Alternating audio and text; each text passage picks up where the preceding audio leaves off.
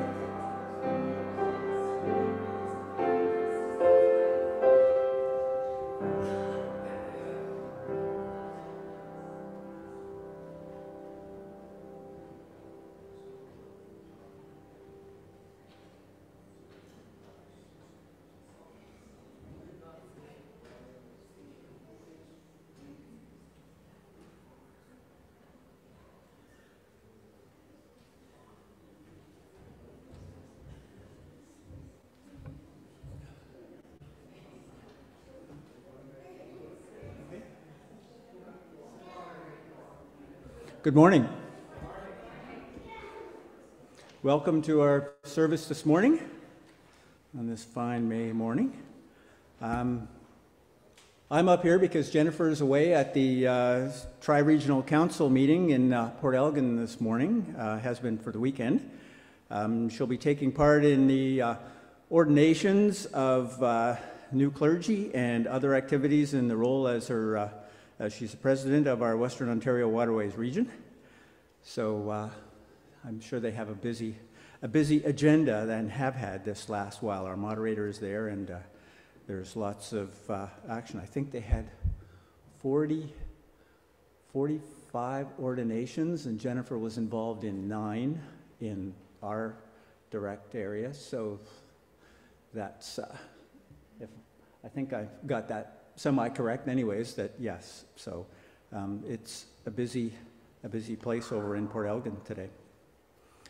Um, again, after two weeks of being extremely busy in this congregation, it's kind of nice to just relax a bit. So I do want to thank everyone uh, that was involved way back when we had the fish dinner, and then we had the uh, our uh, yard sale, and all the other activities that uh, in the last two weeks that we've been involved with. So it's uh, it's been a busy a busy time, and we've got other events happening right up until till June.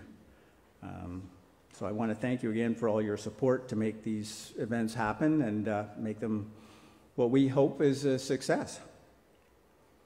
Um, please take the time to uh, read through your bulletins, not necessarily during the service, but if, things go south, you've got something to do. So, uh, yeah, yeah, you can keep yourself occupied. So, uh, um, anyways, there's lots of activities that uh, may pertain to you or, or your committee. Um, also in the bulletins, uh, please, and for the next while, we're going to print the, uh, the insert for our summer services. We just take on a little uh, different program for summer. Um, so we just changed things up a little bit for July and August. So please take note of those uh, particular items um, as you will.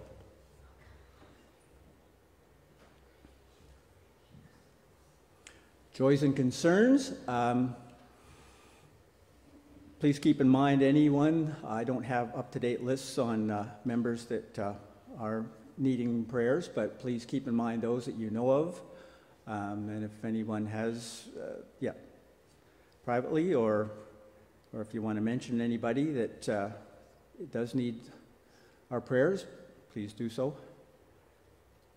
On a lighter note, um, from my personal as a joy. Today's a busy Sunday. It's Memorial Day in the States, which means the Indy 500, the Coke 600 in NASCAR. Uh, I think there's a Formula One race, and there's a Corvette show at Wasaga Beach. So when I'm done here, I'm going to go and look at some high price cars at the beach. So that's my, that's my joy today. So, yes, big Sunday.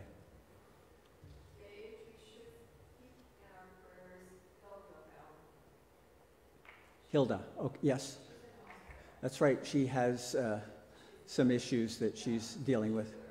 Hilda and both Hilda and Chris in our yes. Um, I'd like the congregation to please include my brother uh, in their prayers today. He recently suffered a very serious brain trauma, and he and his family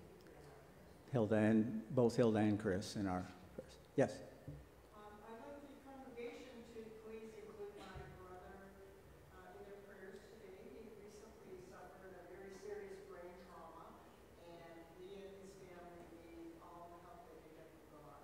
So, we will do that. Thank you. So please keep your brother in mind. Thank you.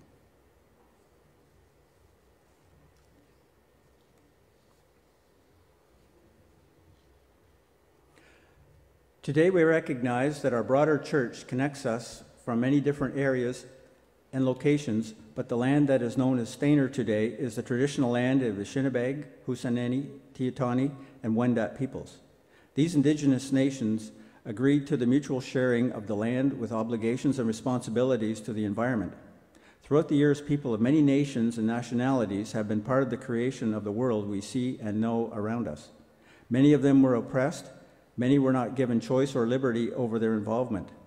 Today, we pray our thanks for the conservancy and lessons of all oppressed people in our past and renew our commitment to recognize and undo legacy injustices listen to the stories, and build better relationships between all races and nations. May this acknowledgement be more than just words. May it spur us into action toward reconciliation and right relations. Let us come before the Creating One as we offer our prayers, hear holy stories, and sing sacred songs.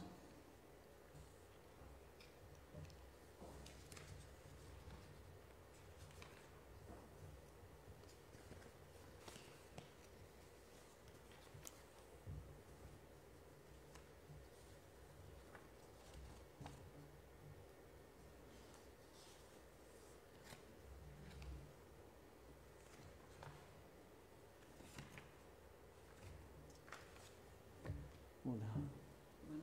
Yes, thank you. Had to scramble for a minute.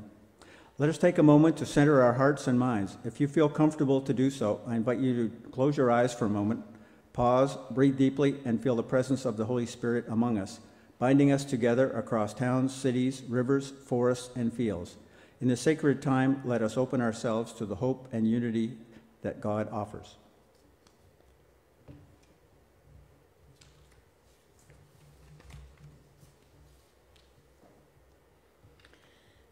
As we light the Christ candle today, let it be a symbol of Christ's presence among us and within our wider United Church community. May this light remind us of the unity we share in Jesus Christ, shining across our regions, bringing warmth and clarity to our hearts.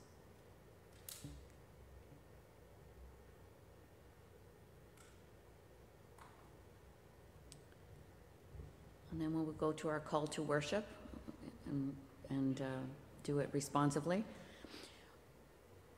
One, or in many places we gather. From many backgrounds we come. For many purposes we serve. Together, let us worship God. Makes us one body, one spirit in Christ. And our prayer. Gracious God, in your wisdom, you have called us together to reflect the body of Christ. As we gather in your presence, we acknowledge our imperfections and the times we have fallen short of loving as you have taught us. Forgive us for the moments we have acted in isolation rather than seeking the strength of our community. Open our eyes to the beauty of our shared life and strengthen our hearts for the journey we undertake together. Teach us to cherish each other's gifts and to face our challenges with courage and love. As we worship today, knit us closer to one another and to you, mending our spirits and renewing our purpose. In Christ's name, we pray, Amen. And now we'll sing hymn 509 in Voices United I, the Lord of sea and sky.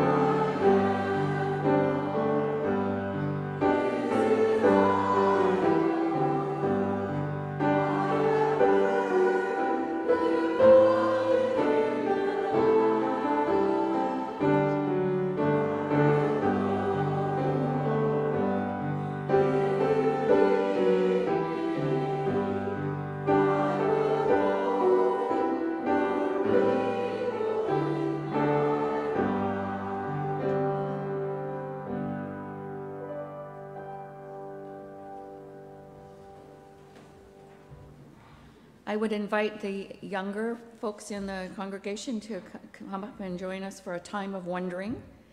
Every time we gather, we create something sim- simple, special.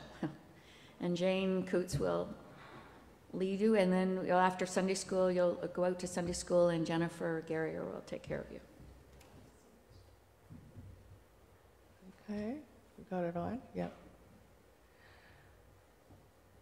Who here knows what community means?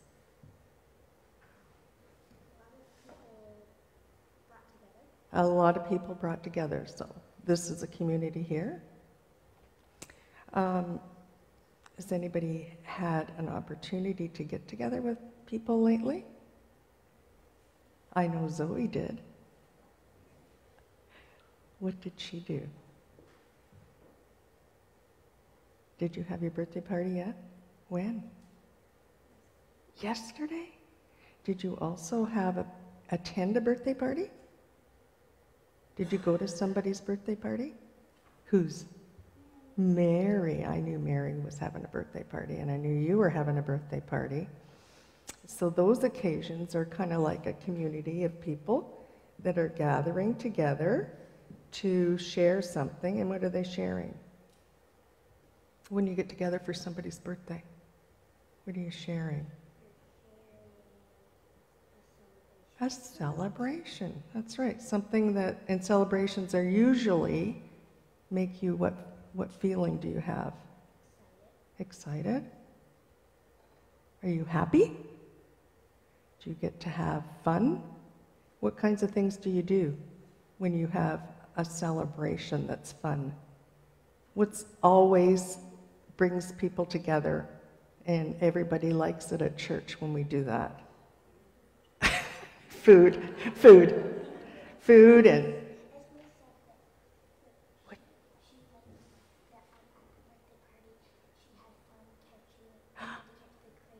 Okay, so that's kind of like an activity?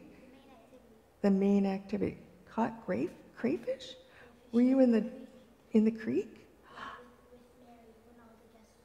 Oh, you did that?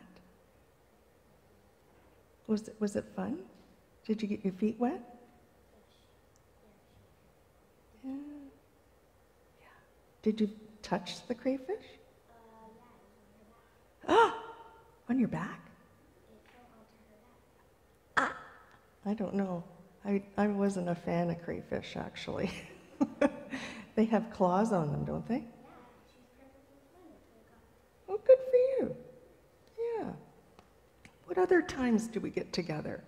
Can you think of something that you might be planning this summer that you might be doing that might be fun? But where? Where are you going to go? I was talking to your dad about this.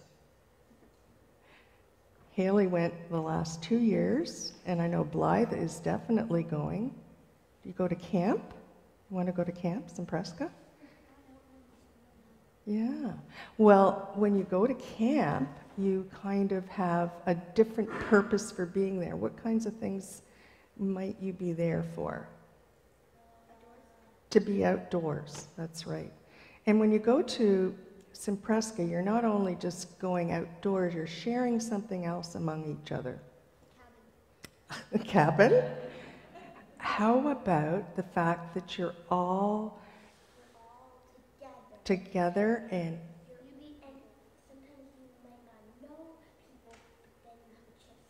Mm-hmm. Mm-hmm. And then they become your new community. But you also are sharing a spiritual thing as well because it's a church camp.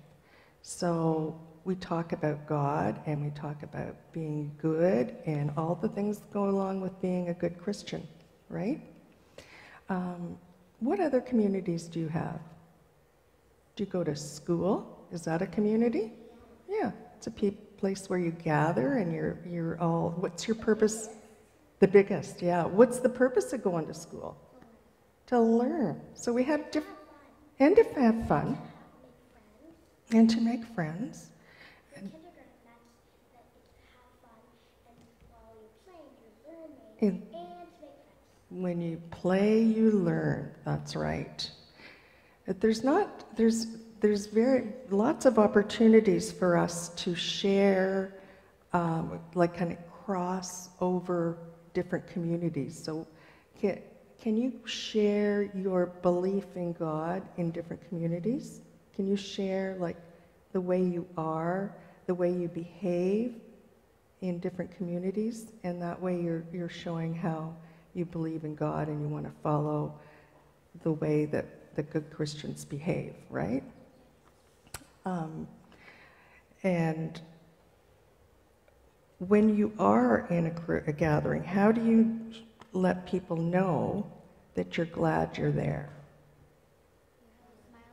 You have a smile on your face. hmm Uh-huh.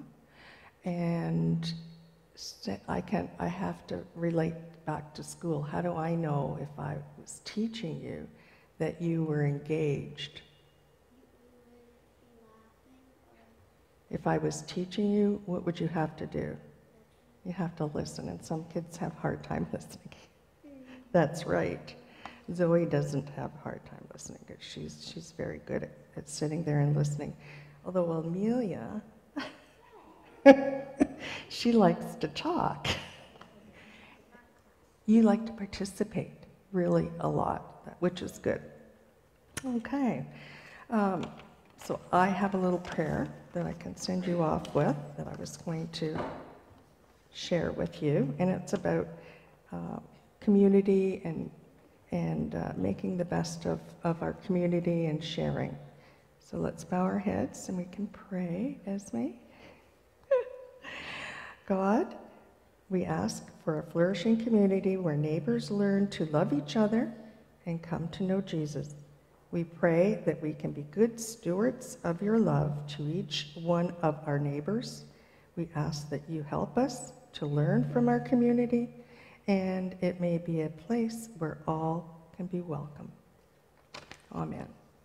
Okay, so I guess you can head back to Sunday school.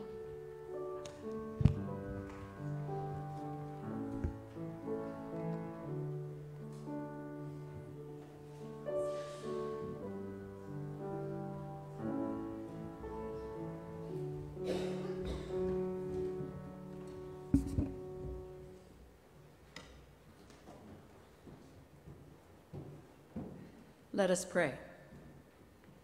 Lord, open our hearts and minds by the power of your Holy Spirit, that as the scriptures are read and your word proclaimed, we may hear with joy what you say to us today. Illuminate our understanding, inspire our thoughts, and draw us closer to you. Amen. And Liz Cran will read us our scriptures today.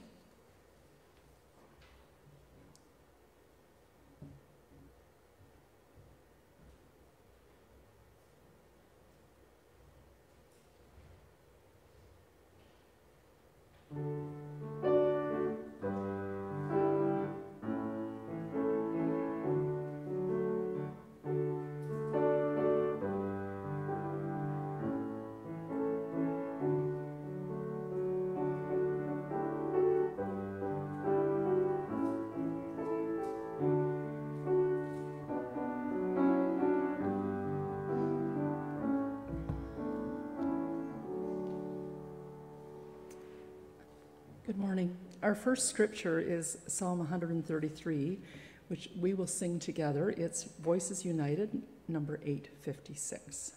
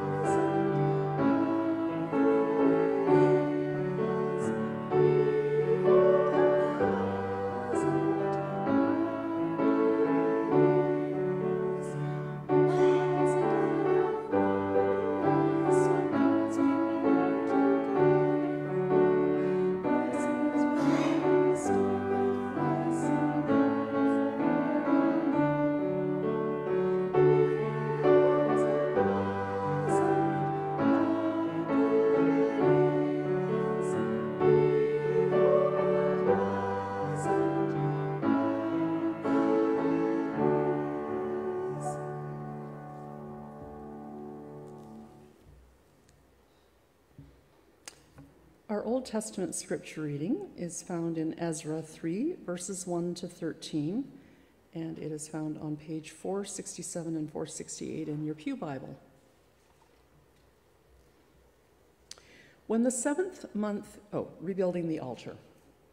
When the seventh month came, and the Israelites had settled in their towns, the people assembled together as one in Jerusalem. Then Joshua, son of Jozadak, and his fellow priests, and Zerubbabel, son of Shealtiel, and his associates, began to build the altar of God of the God of Israel to sacrifice burnt offerings on it, in accordance with what is written in the law of Moses, the man of God. Despite their fear of the peoples around them, they built the altar on its foundation and sacrificed burnt offerings on it to the Lord, both the morning and the evening sacrifices. Then, in accordance with what is written, they celebrated the Festival of Tabernacles with the required number of burnt offerings prescribed for each day. After that, they presented the regular burnt offerings, the new moon sacrifices, and the sacrifices for all the appointed sacred festivals of the Lord, as well as those brought as freewill offerings to the Lord. On the first day of the seventh month, they began to offer burnt offerings to the Lord, though the foundation of the Lord's temple had not yet been laid. Rebuilding the temple. Then they gave money to the masons and carpenters, and gave food and drink and olive oil to the people of Sidon and Tyre, so that they would bring cedar logs by sea from Lebanon to Joppa, as authorized by Cyrus, king of Persia.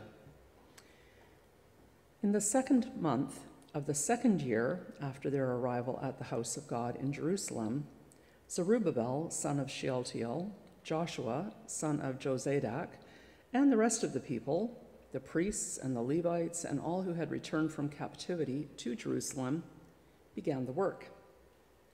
They appointed Levites 20 years old and older to supervise the building of the house of the Lord. Joshua and his sons and brothers, and Kadmiel and his sons, descendants of Hodaviah, and the sons of Henadad and their sons and brothers, all Levites, joined together in supervising those working on the house of the Lord. When the builders laid the foundation of the temple of the Lord, the priests in their vestments with their trumpets, and the Levites, the sons of Asaph, with cymbals, took their places to praise the Lord as prescribed by King David of Israel. With praise and thanksgiving, they sang to the Lord, He is good. His love toward Israel endures forever. And all the people gave a great shout of praise to the Lord because the foundation of the house of the Lord was laid.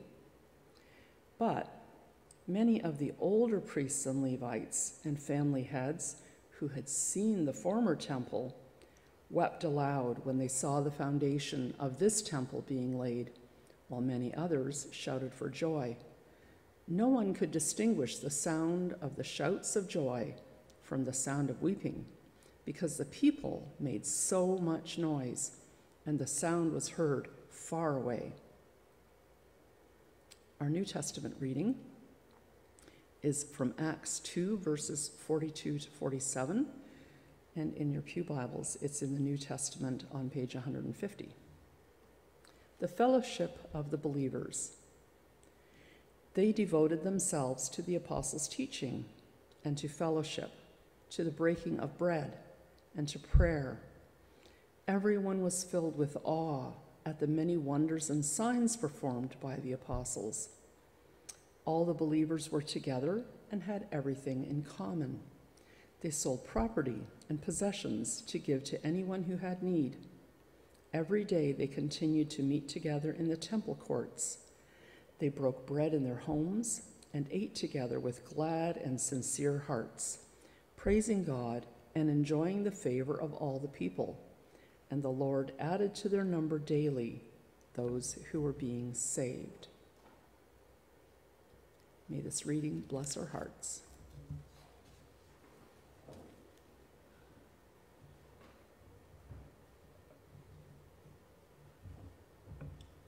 I believe we just witnessed how much we appreciate having a choir and Jennifer leading us in song at different times. Um, And now we'll call on Jeff Allen to uh, give us our message, Life Together.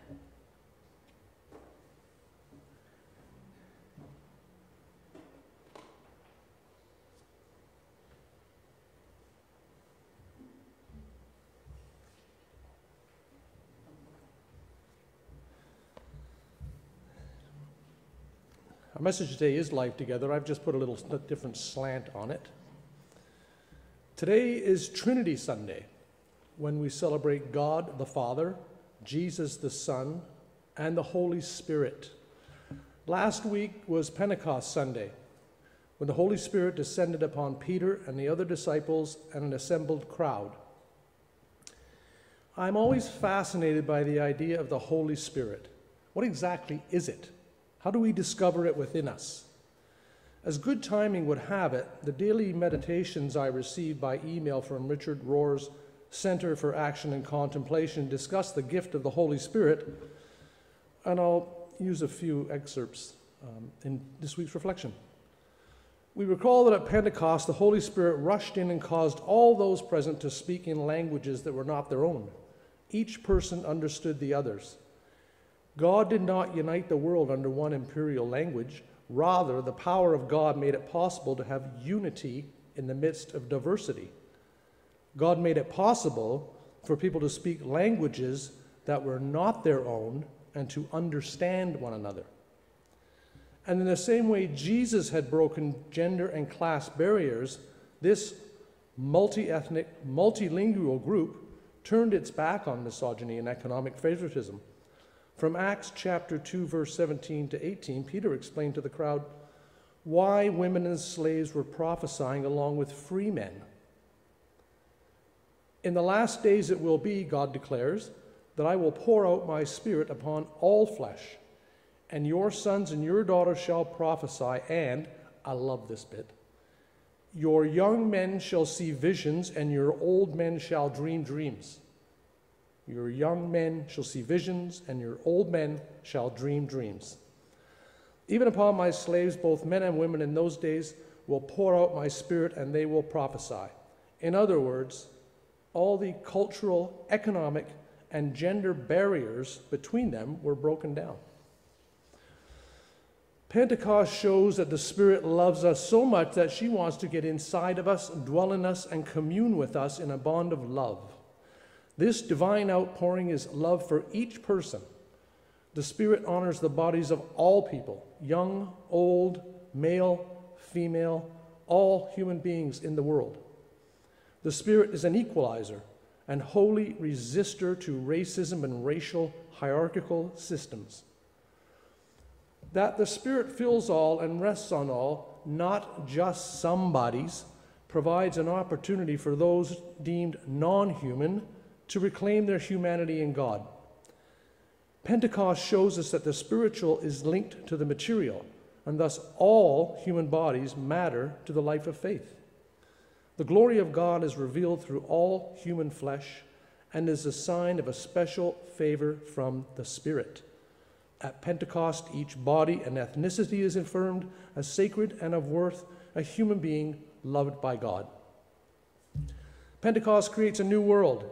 It's a new creation ignited by the Spirit. The Spirit may be unsought or unwanted, but is intent on making all things new. It's a shame that the Holy Spirit tends to be an afterthought for many Christians. We don't really have the Spirit. We tend, I'm afraid, to simply go through the motions. We formally believe, but honestly, there isn't always that much fire to it. There isn't always much conviction. We just sort of believe. That's why in the Gospels there are two clearly distinguished baptisms. There's the baptism with water that most of us are used to, and then the Gospel of Matthew, chapter 3, verse 11, there's the baptism with the Holy Spirit and fire. That's the one that really matters. The water baptism that many of us received as children demands little conviction or understanding. Some parents simply do it to make their parents or grandparents happy. Until this baptism by water becomes real until we know Jesus and we rely on Jesus, we call upon Jesus, share and love Jesus, we're just going along for the ride. But we can recognize people who have had a second baptism in the Holy Spirit. They tend to be loving, they tend to be exciting, they want to serve others and not just be served themselves. They forgive life itself for not being everything they once hoped for. They forgive themselves for not being as perfect as they would like to be. Even though we pray, Come, Holy Spirit, the gift of the Spirit is already given. The Holy Spirit has already come. We are all temples of the Holy Spirit, equally, objectively, and forever. The only difference is the degree that we know it, draw upon it, and consciously believe it. All the scriptural images of the Spirit are dynamic flowing water, descending dove or fire, and rushing wind. If there's never any movement, energy, excitement, deep love, service, forgiveness, or surrender, we can be pretty sure we aren't living out of the Spirit. If our whole lives are just going through the motions, if there's never any deep conviction, we aren't connected to the Spirit. We would do well to fan into flame the gift we already have. From Luke chapter 6, verse 27 to 30 Love your enemies, do good to those who hate you, bless those who curse you, pray for those who treat you badly. If someone slaps you on one cheek, offer the other cheek. If someone takes your coat, let them take your shirt as well. Treat others the way you want them to treat you. By living in the Spirit, Jesus' disciples can do what God does. Or, as Jesus puts it, again from the Gospel of Luke, be compassionate just the way your Father is compassionate. It is by the power of the Spirit that the disciples follow Jesus' alternative way. The gift of the Spirit is God's own power to love unconditionally and to transform the world by that power. This gift of knowing the Spirit, of being able to love as God does, is the same gift we need today. We see the world on the brink of destruction, yet people are too often apathetic about it. We hear of war and famines, yet people choose to ignore them. We watch the earth degrade all around us and we simply adjust our thermostats. Too many people just want to be left alone, not bothered by someone else, not even God, making demands on them. All of this is evidence of something missing in their lives and reveals that they really do not know the Spirit. The Holy Spirit is always a gratuitous gift. It's always an unmerited favor. It's always pure grace. Like wind, it cannot be seen. Like smoke, it cannot be controlled.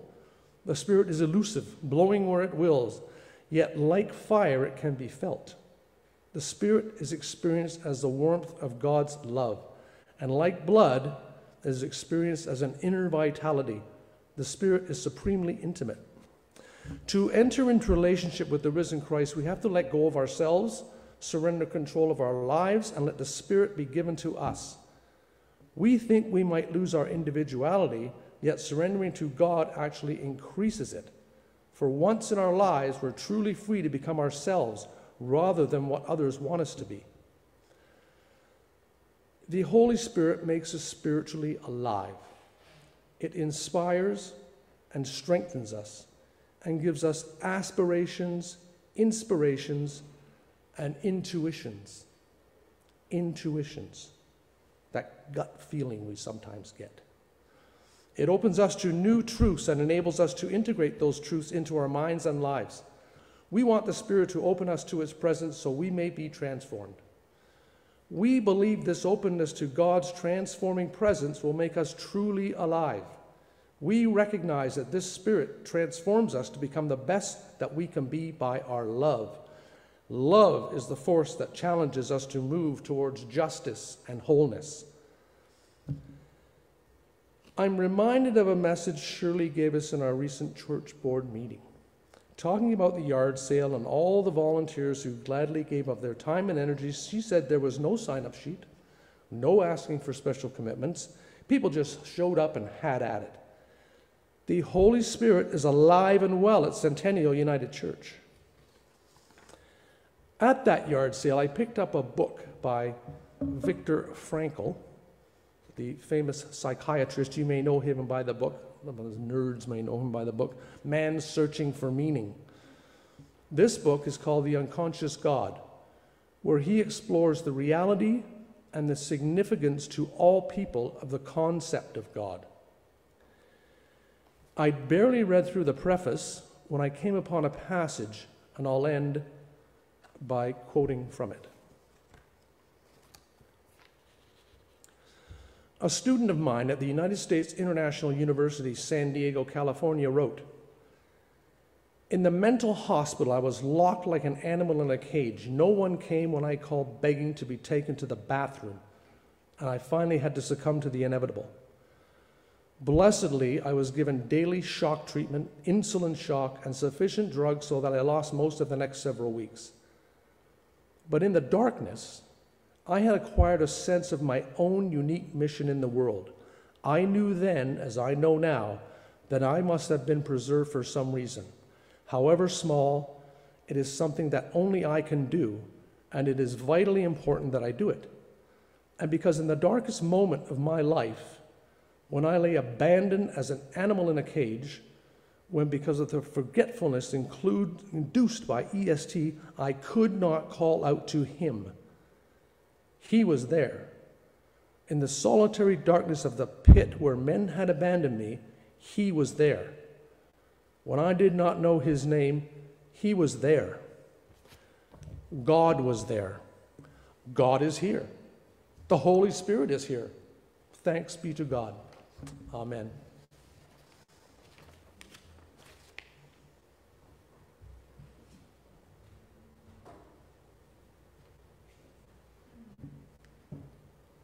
We'll go on to hymn 271, Voices United, There's a Wild Wideness in God's Mercy.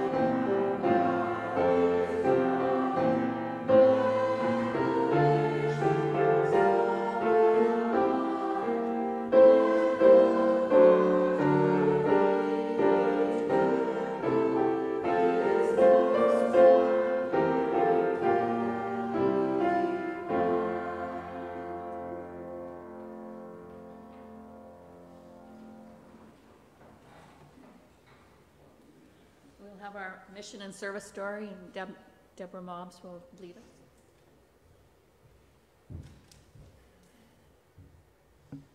Good morning. Supporting people's dignity and well-being. Being able to take a shower can have a positive impact on a person's mental and emotional health. It provides a sense of dignity, self-worth, and normalcy that contributes to overall well-being, especially to people living on the streets. In downtown St. Catharines, Ontario, Silver Spire United Church's shower and laundry program is changing lives. Three mornings a week, people are offered an opportunity to refresh and recharge. The two shower rooms can be locked and each have a changing area, so patrons have space to secure their personal belongings. The laundry room next door means that after they shower, people can dress in their own clean clothing. Cell phone chargers are another small but helpful detail. This program goes beyond being a practical service. It embodies compassion, addresses fundamental needs, and provides comfort in a welcoming space. In the sweltering heat of summer, a cool shower can make a huge difference. Your support through mission and service helps programs like Silver Spires to support people's well being. Thank you.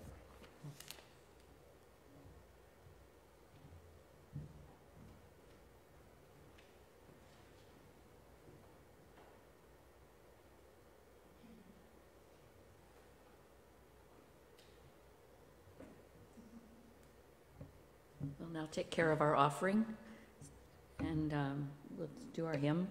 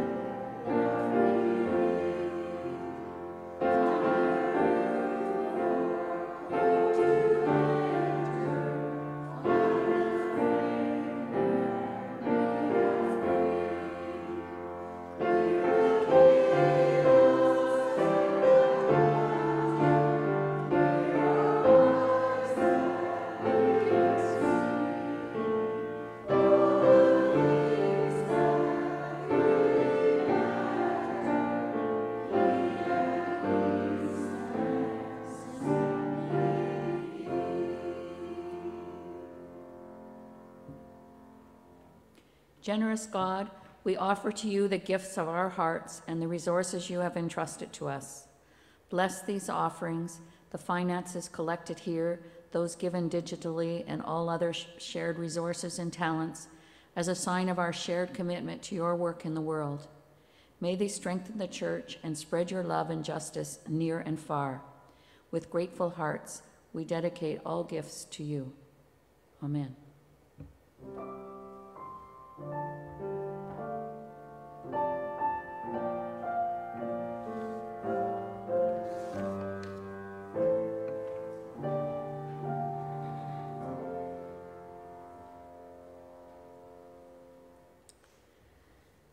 Prayers of the people, um, just remember again uh, Hilda and Chris Valentine and their health issues, and uh, keep Deb's brother and family in, in our prayers.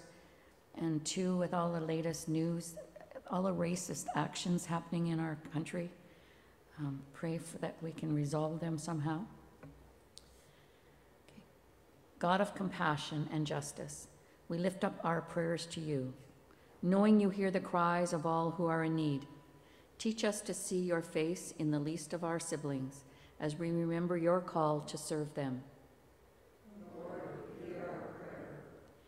For those who hunger in a world of plenty, for children who go to bed without food, and for families who struggle to put a meal on the table, may we be moved to action and compassion.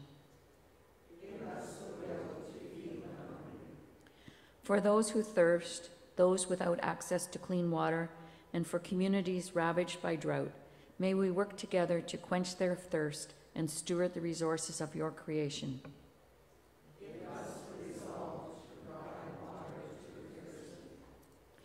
For those who lack shelter and those who are displaced from their homes by conflict or disaster, may we open our hearts and our communities to provide refuge and peace strength to clothe the naked and shelter the homeless. For those who suffer in isolation, those imprisoned, those who are lonely, and those marginalized by society, may we bring the light of fellowship and care to, to their lives. Give us the courage to visit and comfort lonely, and imprisoned. For the oppressed, the exploited, and all who struggle for freedom and justice, may we lend our voices and our actions to their cause, reflecting your calls for justice.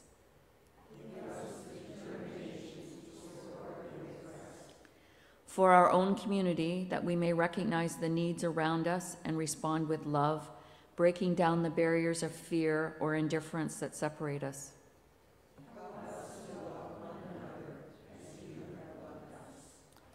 God of all, we pray for the church worldwide that it may be a source of hope and a beacon of your love in the world. Strengthen us to live out the gospel, not just in word, but in deed.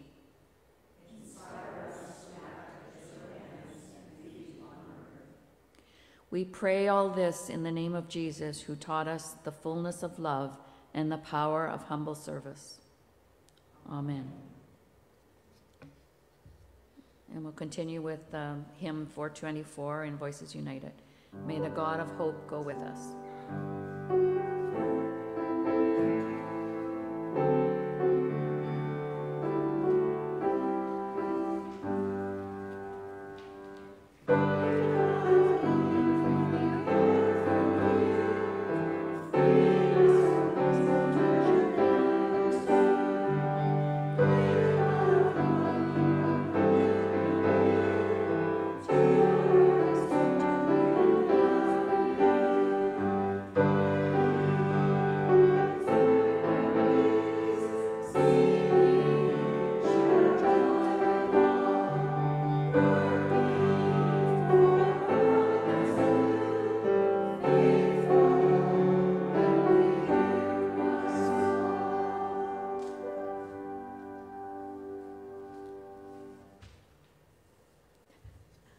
Have something written to say, so thank you for worshiping with us this morning, and you know that coffee will be in the CE wing following, following our close.